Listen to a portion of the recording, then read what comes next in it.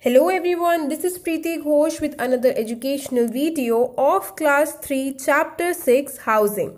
This is part 2 of this chapter. If you haven't seen part 1 of this chapter, the link is given in the description box. And if you are new to my channel, do consider subscribing it right now and press the bell icon for latest updates.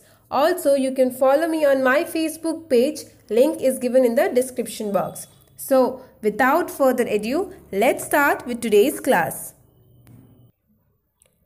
So students, in the last class, we read about different types of houses and what all features should a good house must have.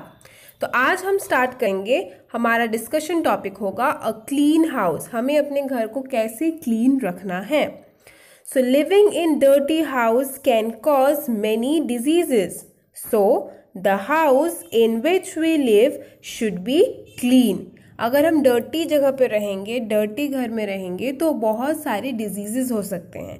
इसीलिए ज़रूरी है कि हम अपने घर को जहाँ पे हम रह रहे हो, उसको क्लीन रखें। Now the floors of the house should be swept and mopped every day जो फ्लोर्स हैं, वो हमेशा साफ़ सुथरा रहना चाहिए।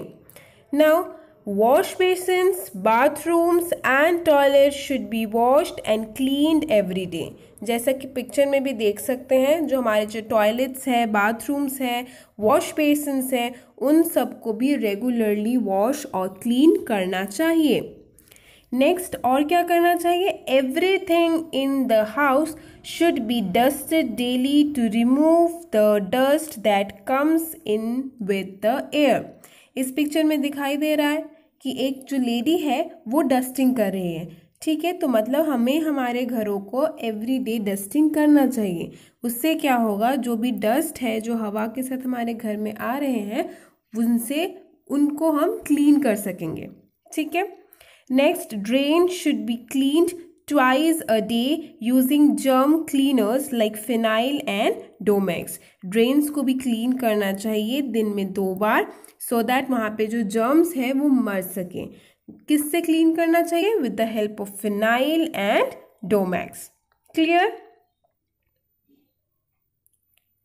next garbage should be thrown out of the house into dustbins garbage को हमेशा घर के बाहर और डस्टबिन में ही फेंकना चाहिए।